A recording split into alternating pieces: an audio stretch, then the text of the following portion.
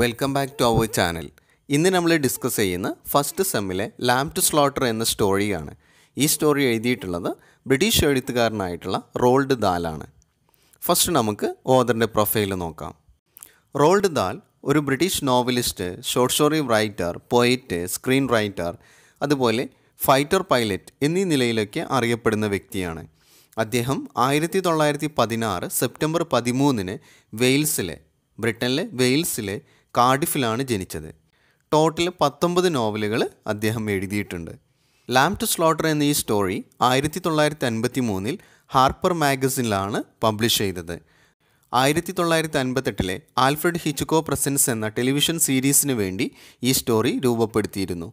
ഇതിന്റെ സ്ക്രിപ്റ്റ് എഴുതിയത് റോൾഡ് ദാൽ തന്നെയായിരുന്നു. ആയിരത്തി തൊള്ളായിരത്തി എഴുപത്തൊൻപതിൽ ഈ സ്റ്റോറിയുടെ വേറൊരു പതിപ്പ് സ്ക്രീനിൽ വന്നിരുന്നു. ഈ സ്റ്റോറിയുടെ തീം റോൾഡ് ദാലിന് ലഭിക്കുന്നത് അദ്ദേഹത്തിന്റെ ഫ്രണ്ടും അതുപോലെ ജെയിംസ് ബോണ്ടിന്റെയൊക്കെ നിർമ്മാതാവുമായിട്ടുള്ള ഇയാൻ ഫ്ലെമിങ്ങിൽ നിന്നുമാണ്. ലാം ടു സ്ലോട്ടർ എന്ന ഈ ടേം ബൈബിളിൽ നിന്നും എടുത്തതാണ്. അതുകൊണ്ട് ഉദ്ദേശിക്കുന്നത് കൊല്ലാൻ ഒരു അറവുകാരന്റെ അല്ലെങ്കിൽ സ്ലോട്ടറുടെ അടുത്തേക്ക് കൊണ്ടുപോകുന്ന ഒരു ആട്ടിൻകുട്ടിയുടെ അവസ്ഥയാണ്. വളരെ നിഷ്കളങ്കമാണ് ആ ആട്ടിൻകുട്ടി. കൊല്ലാനാണ് കൊണ്ടുപോകുന്നത് എന്ന് ഒരിക്കലും ആ ആട്ടിൻകുട്ടി തിരിച്ചറിയുന്നില്ല. ഈ സ്റ്റോറിയിൽ ഒരുപാട് ഐറണി കാണാൻ നമുക്ക് സാധിക്കും. ഐറണി മീൻസ് വിരോധാഭാസം. ആയിരത്തി തൊള്ളായിരത്തി അൻപതുകളിൽ ഇംഗ്ലണ്ടിൽ നിലനിന്നിരുന്ന ജെൻഡർ റിലേഷനെക്കുറിച്ചും ഈ സ്റ്റോറി വിവരിക്കുന്നു. അന്ന് സ്ത്രീകൾ പൊതുവെ ഹൗസ് വൈഫ്സ് ആയിരുന്നു. അവർ എല്ലാ കാര്യത്തിനും അവരുടെ ഹസ്ബൻഡുമാരെയാണ് ഡിപ്പെൻഡ് ചെയ്തിരുന്നത്. ഈ സ്റ്റോറിയിലെ ഹീറോയിൻ ആയിട്ടുള്ള മേരി മലോണിയും അത്തരത്തിലുള്ള ഒരു സ്ത്രീയായിരുന്നു. ഇനി നമുക്ക് ഈ സ്റ്റോറി നോക്കാം. സ്റ്റോറി തുടങ്ങുമ്പോൾ നമ്മൾ കാണുന്ന ഇതിലെ സെൻട്രൽ ക്യാരക്ടറായിട്ടുള്ള മേരി മലോണി തന്റെ ഹസ്ബൻഡ് ജോലി കഴിഞ്ഞ് വീട്ടിലേക്ക് വരുന്നത് വെയിറ്റ് ചെയ്തിരിക്കുകയാണ്. അവരുടെ ഹസ്ബൻഡ് ഒരു ഡിറ്റക്റ്റീവായിട്ടാണ് ജോലി ചെയ്യുന്നത്. അവർ ഹസ്ബൻഡിന് വേണ്ട ഡ്രിങ്ക്സൊക്കെ റെഡിയാക്കി വെച്ചിട്ടുണ്ട്. അവൾ സൂവിങ് അതായത് തെയ്യൽ ജോലിയാണ് ചെയ്തുകൊണ്ടിരിക്കുന്നത്. അവൾ ഇടയ്ക്കിടയ്ക്ക് ക്ലോക്കിലേക്ക് നോക്കുന്നുണ്ട്. അവൾ ആറുമാസം പ്രഗ്നന്റുമായിരുന്നു അങ്ങനെ അഞ്ചു മണിക്ക് പത്ത് മിനിറ്റ് ഉണ്ടാകുമ്പോൾ മേരി മലോണി തന്റെ ഹസ്ബൻഡ് വീട്ടിലേക്ക് വരുന്ന കാറിന്റെ സൗണ്ട് കേൾക്കുകയാണ്. ഉടനെ തന്നെ മേരി മലോണിയുടെ ഹസ്ബൻഡായിട്ടുള്ള പാട്രിക്ക് വീട്ടിലേക്ക് വന്നു. അവളെ ഗ്രീറ്റ് ചെയ്യുന്നുണ്ട്. അവൾ തിരിച്ചും ഗ്രീറ്റ് ചെയ്തു. അവൾ അദ്ദേഹത്തിന്റെ കോട്ടൊക്കെ വാങ്ങി വെക്കുകയും അയാൾക്ക് നേരത്തെ തയ്യാറാക്കി വെച്ചിരുന്ന വിസ്കി ഡ്രിങ്ക്സ് അയാൾക്ക് കൊടുക്കുകയും ചെയ്തു. മേരി മലോണിയെ സംബന്ധിച്ചിടത്തോളം ജീവിതത്തിലെ ഏറ്റവും സന്തോഷമുള്ള കാര്യമാണ് തന്റെ ഹസ്ബൻഡിന്റെ കൂടെ ഇങ്ങനെ സമയം ചെലവഴിക്കുക. എല്ലാ ദിവസവും വൈകുന്നേരവും അവൾ ഹസ്ബൻഡിന്റെ കൂടെയാണ് സമയം ചെലവഴിക്കാറുള്ളത്. കാരണം വൈകുന്നേരം വരെ അവൾ വീട്ടിൽ ഒറ്റയ്ക്കാവും. അതുകൊണ്ട് തന്നെ തന്റെ ഹസ്ബൻഡിന്റെ സാമീപ്യം അവൾ ഒരുപാട് ഇഷ്ടപ്പെട്ടിരുന്നു. ഓദ്രദിനെ വിശേഷിപ്പിക്കുന്ന ഒരു സൺബാത്ര സൺലൈറ്റ് ആസ്വദിക്കുന്ന പോലെ മേരി മലോണി തന്റെ ഹസ്ബൻഡിന്റെ പ്രസൻസ് ആഗ്രഹിച്ചിരുന്നു എന്നാണ്. നെക്സ്റ്റ് നമ്മൾ കാണുന്നത് മേരി മലോണി തന്റെ ഹസ്ബൻഡായിട്ടുള്ള പാട്രിക്കിനോട് ചോദിക്കുകയാണ് എളാകെ ടയേർഡാണോ കാരണം പതിവിൽ നിന്ന് വ്യത്യസ്തമായിട്ട് പാട്രിക് ആകെ ക്ഷീണിതനായിട്ടാണ് കാണുന്നത്.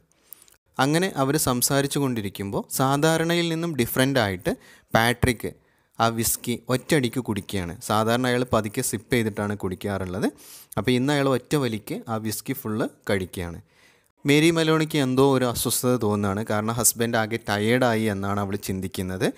അദ്ദേഹം ജോലിയിൽ വളരെ സീനിയർ ആണെങ്കിലും അദ്ദേഹത്തെ കൊണ്ട് ഡിപ്പാർട്ട്മെന്റ് ഒരുപാട് ജോലി ചെയ്യിക്കുന്നു എന്ന് അവൾ സഹതപിക്കുന്നുണ്ട്. പക്ഷെ അതൊന്നും പാട്രിക്ക് ശ്രദ്ധിക്കുന്നില്ല. മേരി മലോണി ഈ സമയത്ത് തന്റെ ഹോബിയായിട്ടുള്ള സൂവിങ് തുന്നലിൽ മുഴുകിക്കൊണ്ടിരിക്കുകയായിരുന്നു. അന്ന് പാട്രിക് ആകെ ക്ഷീണിതനായിരുന്നു. അതുകൊണ്ട് തന്നെ എല്ലാ വ്യാഴാഴ്ചകളിലും അവർ പുറത്തു പോയിട്ടാണ് ഭക്ഷണം കഴിക്കാറുള്ളത്.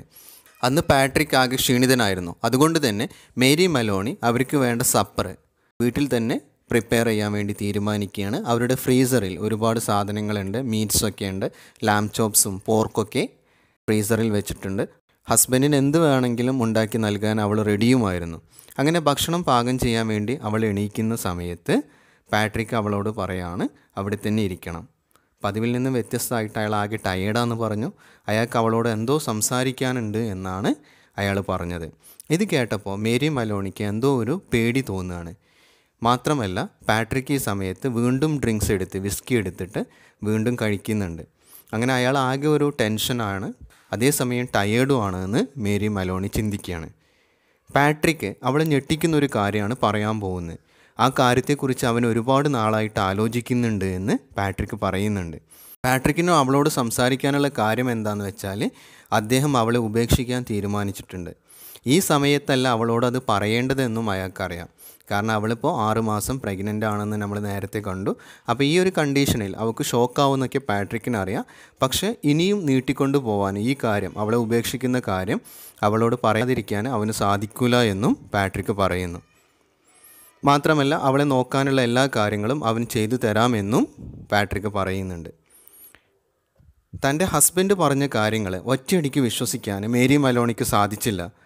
അവൾ ഉടനെ ചിന്തിക്കുന്നത് ഇതൊരു ഇമാജിനേഷനാണ് ജസ്റ്റ് ഒരു സങ്കല്പമാണ് അവൾക്ക് അവൾക്ക് തോന്നുകയാണ് എന്നാണ് അവൾ ഫസ്റ്റ് വിചാരിക്കുന്നത്. തന്റെ പതിവ് ജോലികളിൽ മുഴുകുമ്പോൾ ഈ ഇമാജിനേഷനിൽ നിന്നും തിരിച്ചു വരാൻ കഴിയും എന്നവൾ ചിന്തിക്കുന്നു. അവൾ സപ്പർ റെഡിയാക്കാൻ വേണ്ടി കിച്ചണിലേക്ക് പോവുകയാണെന്ന് ഹസ്ബൻഡിനോട് പറയുന്നു ബട്ട് പാട്രിക് അവളെ തടയുന്നില്ല അവളെ പോകാൻ അനുവദിച്ചു. ഈ സമയത്ത് മേരി മലോണിക്ക് ഫീൽ ചെയ്യാണ് തന്റെ കാലുകളൊന്നും നിലത്തുറക്കുന്നില്ല. കാരണം ആ കേട്ട കാര്യം അവൾക്ക് ഒരിക്കലും വിശ്വസിക്കാൻ പറ്റിയില്ല. കാരണം അവൾ ഹസ്ബൻഡിനെ ഒരുപാട് സ്നേഹിക്കുന്നുണ്ട്. നമ്മൾ നമ്മൾ സ്റ്റാർട്ടിങ്ങിൽ കണ്ടു ഹസ്ബൻഡിന്റെ പ്രസൻസ് വരെ അവൾ ഒരുപാട് എൻജോയ് ചെയ്യുന്ന ഒരാളാണ്. അങ്ങനെയുള്ള മേരി മലോണിയെയാണ് ഹസ്ബൻഡ് ഉപേക്ഷിക്കുകയാണെന്ന് പറഞ്ഞു. അതുകൊണ്ട് തന്നെ കാലുകളൊന്നും നിലത്തുറക്കുന്നില്ല അതുപോലെ വൊമിറ്റ് ചെയ്യാനൊക്കെ അവൾക്ക് തോന്നുന്നുണ്ട്. അങ്ങനെ അവൾ ആകെ ഒരു വല്ലാത്ത അവസ്ഥയിൽ കിച്ചണിലേക്ക് പോവുകയാണ്. ഫ്രീസറിൽ നിന്നും ഫസ്റ്റ് കയ്യിൽ കിട്ടിയ ലാമ്പിന്റെ ലെഗുമായി അവൾ തിരിച്ച് ഹസ്ബൻഡിന്റെ റൂമിലേക്ക് വരുന്നു. ഹസ്ബൻഡ് അവളോട് സപ്പർ തയ്യാറാക്കണ്ട എന്നും അയാൾ പുറത്തു പോവുകയാണെന്നും അവളോട് പറയാണ്. മേരി മലോണി നടന്ന് തന്റെ ഹസ്ബൻഡ് പാട്രിക്കിന്റെ പിറകിലെത്തുകയും കയ്യിൽ പിടിച്ചിരുന്ന ലാമ്പിന്റെ ഫ്രോസൺ ലെഗ് മുകളിലേക്ക് ഉയർത്തി ശക്തിയോടെ അയാളെ തലയ്ക്ക് പിറകിൽ അടിക്കുകയും ചെയ്യാണ്. ഈ സമയത്ത് പാട്രിക്ക് അടികൊണ്ട് താഴേക്ക് വീഴുകയാണ് ആ വീഴ്ചയുടെ സൗണ്ട് അവളെ ആ ഷോക്കിൽ നിന്നും മോചിപ്പിച്ചു. അവൾക്ക് മനസ്സിലായി അവൾ പാട്രിക്കിനെ കൊന്നു എന്ന്. അതായത് മേരി മലോണിക്ക് മനസ്സിലായി തന്റെ ഹസ്ബൻഡിനെ അവർ കൊന്നു എന്ന്. അവളുടെ ഹസ്ബൻഡ് ഒരു ഡിറ്റക്റ്റീവായിരുന്നു അതുകൊണ്ട് തന്നെ ഒരു മേർഡറിന്റെ ശിക്ഷ എന്താണെന്ന് മേരി മലോണിക്ക് നന്നായിട്ട് അറിയാം. മേരി മലോണി ഈ സമയത്ത് സിക്സ് മന്ത് പ്രഗ്നന്റുമായിരുന്നു അതുകൊണ്ട് തന്നെ ശിക്ഷയിൽ നിന്നും രക്ഷപ്പെടാൻ ഒരു അലീബി വേണമെന്ന് അവൾ തീരുമാനിച്ചു. അലിബി എന്നതുകൊണ്ട് ഉദ്ദേശിക്കുന്നത് കുറ്റം നടക്കുന്ന സമയത്ത് പ്രതി മറ്റൊരു സ്ഥലത്താണെന്ന് സ്ഥാപിച്ചാൽ പ്രതിയെ വെറുതെ വിടും കോടതി വെറുതെ വിടും. അതുകൊണ്ട് അവൾ അടിക്കാൻ ഉപയോഗിച്ച ആ ഫ്രോസൺ ലെഗ് ഒരു പാത്രത്തിലിട്ട് പാകം ചെയ്യാനായിട്ട് ഓവനിൽ വെക്കുകയാണ്. അവൾ കൈയൊക്കെ വാഷ് ചെയ്ത് മിററിൽ നോക്കി അവളുടെ മുഖമൊക്കെ ശരിയാക്കുകയാണ്. ഒരുപാട് സമയത്തെ പ്രാക്ടീസിന് ശേഷം അവൾ ചിരിച്ച് അവരുടെ മുഖം ഒന്നും സംഭവിക്കാത്ത പോലെ ഹാപ്പി ഫേസ് ആക്കി മാറ്റുകയാണ് എന്നിട്ട് അവൾ താഴേക്ക് പോയി വീടിന്റെ താഴേക്ക് പോയി ഓവർ കോട്ടൊക്കെ ധരിച്ച് പിറകിലെ ഡോറിൽ കൂടി പുറത്തു പോവാണ്. അവൾ പോയത് നേരെ പോയത് ഒരു ഗ്രോസറി ഷോപ്പിലേക്കാണ്. സാം എന്ന വ്യക്തിയായിരുന്നു അവിടുത്തെ ഷോപ്പ് കീപ്പർ സാമിനോട് വളരെ നോർമലായിട്ട് അവൾ സംസാരിക്കുകയും വേണ്ട സാധനങ്ങളൊക്കെ വാങ്ങുകയും ചെയ്തു. തന്റെ ഹസ്ബൻഡ് പാട്രിക്കിന് തീരെ സുഖമില്ലാത്തതിനാൽ അന്ന് അവർ പുറത്തു പോയിട്ട് ഭക്ഷണം കഴിക്കുന്നില്ലെന്നും അതുകൊണ്ട് തന്നെ വീട്ടിൽ അവൾ ഭക്ഷണം പാകം ചെയ്യുകയാണെന്നും അവൾ സാമിനെ അറിയിക്കുകയാണ്. അങ്ങനെ അവൾ വേണ്ട വെജിറ്റബിൾസൊക്കെ വാങ്ങി ഒന്നും സംഭവിക്കാത്ത പോലെ വളരെ നോർമലായിട്ട് അയാളോട് സംസാരിച്ച് തിരിച്ച് വീട്ടിലേക്ക് എത്തുകയാണ്. അയാളോട് ഗുഡ് നൈറ്റൊക്കെ പറഞ്ഞിട്ടാണ് വീട്ടിലേക്ക് മടങ്ങുന്നത്. ആർക്കും ഒരു സംശയമൊന്നും തോന്നുന്നില്ല.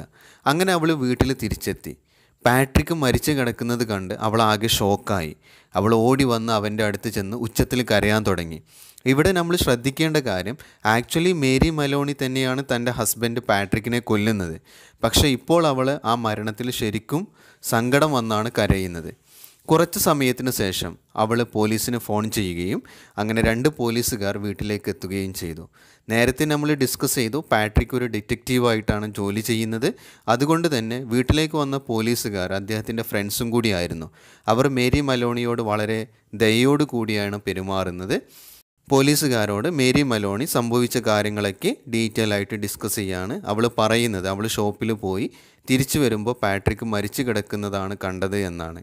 അതായത് പോകുന്ന സമയത്ത് പാട്രിക്ക് ചെറുതായിട്ട് ക്ഷീണം ഉണ്ടായിരുന്നു.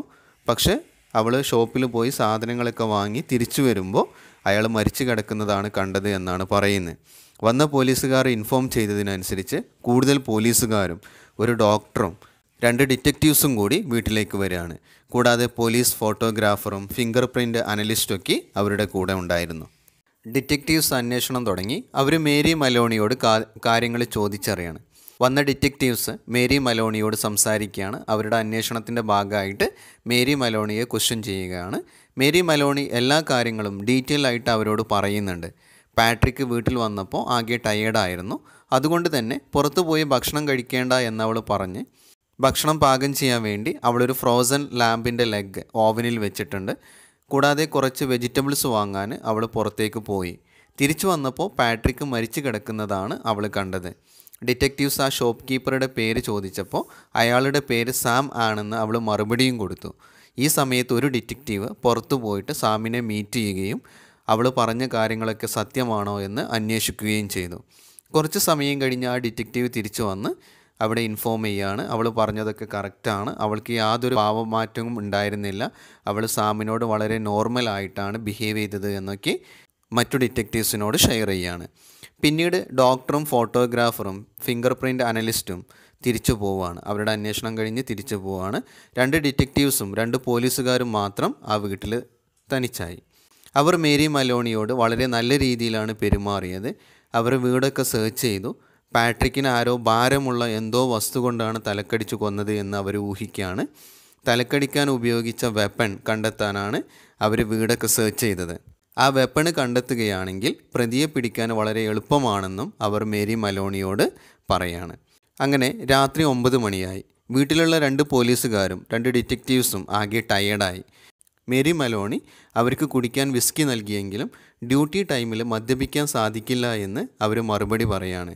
ബട്ട് അവൾ നിർബന്ധിച്ചപ്പോൾ അവർ അവൾക്ക് ഒരു കമ്പനി കൊടുത്തു. ഈ സമയത്താണ് പോലീസുകാരനായിട്ടുള്ള നൂനാൻ ഓവനിൽ റെഡി ആയിക്കൊണ്ടിരിക്കുന്ന മീറ്റ് കാണുന്ന ലാമ്പ് ലെഗ് ആക്ച്വലി അത് ഉപയോഗിച്ചിട്ടാണ് മേരി മലോൺ തന്റെ ഹസ്ബൻഡിനെ തലക്കടിച്ച് കൊല്ലുന്നത്. സോ ഈ പോലീസുകാരനെ തിരിച്ച് മേരി മലോണിയോട് വന്നിട്ട് മീറ്റ് റെഡിയായ കാര്യം ഇൻഫോം ചെയ്യുന്ന സമയത്ത് മേരി മലോണി അത്ഭുതം നടിക്കുന്നു. എന്നിട്ട് അവരോട് ആ ഭക്ഷണം എടുത്ത് കഴിക്കാൻ പറയുന്നു. അവരത് നിരസിച്ചപ്പോൾ മേരി മലോണി പറയുന്നുണ്ട് അവരൊക്കെ പാട്രിക്കിന്റെ ഫ്രണ്ട്സാണ് ഇത്രയും സമയമായിട്ട് ഭക്ഷണമൊന്നും കൊടുത്തില്ലെങ്കിൽ അത് പാട്രിക്കിന് ഇഷ്ടമുണ്ടാവില്ല. അതുകൊണ്ട് അത് കഴിക്കുന്നത് അവളോട് ചെയ്യുന്ന ഏറ്റവും നല്ല ഫേവർ ആയിരിക്കും. ആക്ച്വലി ഇവിടെ മേരി മലോണി അവരെ കൊണ്ട് നിർബന്ധിച്ച് കഴിപ്പിക്കുകയാണത്. കാരണം അവൾക്കത് കഴിക്കാൻ പറ്റില്ല കാരണം ഹസ്ബൻഡ് മരിച്ച സമയമാണ്. ബട്ട് പോലീസ് രണ്ട് പോലീസുകാരും രണ്ട് ഡിറ്റക്റ്റീവ്സും അത് കഴിക്കുകയാണെങ്കിൽ അവക്ക് ആ തെളിവ് നശിപ്പിക്കാം. കാരണം അതുപയോഗിച്ചിട്ടാണ് ഹസ്ബൻഡിന്റെ തലക്കടിച്ച് കൊന്നത് എന്ന് ഒരിക്കലും തെളിയിക്കാൻ പറ്റില്ല അവരത് ഫുള്ള് കഴിക്കുകയാണെങ്കിൽ. സോ മേരി മലോണി അവരെ കൊണ്ട് നിർബന്ധിപ്പിച്ച് കഴിപ്പിക്കുന്നു. അങ്ങനെ മേരി മലോണിയുടെ നിർബന്ധത്തിന് വഴങ്ങി അവർ ആ മീറ്റ് ഫുള്ള് കഴിക്കുകയാണ്. ഈ സമയത്ത് മേരി മലോണി അവരുടെ തൊട്ടടുത്ത റൂമിലിരുന്ന് ഇവരുടെ സംസാരം കേൾക്കുകയാണ്. ഇവർ പരസ്പരം മീറ്റ് ഫുള്ള് കഴിക്കാൻ വേണ്ടി നിർബന്ധിക്കുന്നുണ്ട്. അതേ സമയത്ത് അവരുടെ സംസാരം മേരി മലോണി ശ്രദ്ധിക്കുന്നുണ്ട്. ഇവർ തമ്മിൽ പറയുന്നത് ഡോക്ടർ പറഞ്ഞിട്ടുണ്ട് എന്തോ ഭാരമുള്ള വസ്തു കൊണ്ടാണ് ഭാരമുള്ളൊരു വെപ്പണ് കൊണ്ടാണ് പാട്രിക്കിന്റെ തലക്കടിച്ചത്. അത് ചിലപ്പോൾ സ്ലഡ്ജ് ഹാമർ ആവാം അല്ലെങ്കിൽ അതുപോലുള്ള ഹെവി വെപ്പൺസ് ആവാം യൂസ് ചെയ്തിട്ടുള്ളത്. അപ്പോൾ മറ്റൊരു ഡിറ്റക്റ്റീവ് പറയാണ് ആ വെപ്പൺസ് കണ്ടുപിടിക്കാൻ വളരെ എളുപ്പമായിരിക്കും. കാരണം മേർഡറർ ഇത്രയും ഭാരമുള്ള ആയുധം ദൂരേക്ക് കൊണ്ടുപോകില്ല എന്നാണ് ഒരു ഡിറ്റക്റ്റീവ് അഭിപ്രായപ്പെടുന്നത്. ഇത് കേൾക്കുന്ന പോലീസുകാരൻ പറയുന്നത് ആ വെപ്പൺ ആ വീട്ടിൽ തന്നെയുണ്ട്. അവരുടെ മൂക്കിന് താഴെയുണ്ട് എന്നാണ് പോലീസുകാരൻ പറയുന്നത്. ഇതൊക്കെ കേട്ടിട്ട് മേരി മലോണി അപ്പുറത്തെ റൂമിൽ നിന്ന് ചിരിക്കുകയാണ്. ഇവിടെയാണ് സ്റ്റോറി കഴിയുന്നത്. ആക്ച്വലി ഈ സ്റ്റോറിയിൽ നമ്മൾ കാണുന്നത് മേരി മലോണിയുടെ കഴിവാണ്. ആക്ച്വലി അവർ ഹസ്ബൻഡിനെ കൊന്നെങ്കിലും അതിൽ നിന്ന് വളരെ ടാക്റ്റിക്സ് ആയിട്ട് രക്ഷപ്പെടുകയാണ്. ഇതൊരു ഡിറ്റക്റ്റീവ് നോവലായിട്ടും ഇതിനെ കണക്കാക്കുന്നുണ്ട്. അപ്പോൾ നിങ്ങൾക്ക് ഇന്നത്തെ ക്ലാസ് യൂസ്ഫുള്ളായി എന്ന് വിശ്വസിക്കുന്നു. നിങ്ങളുടെ അഭിപ്രായങ്ങൾ കമന്റ് ചെയ്യുക ഷെയർ ചെയ്യുക ലൈക്ക് ചെയ്യുക. Thank you all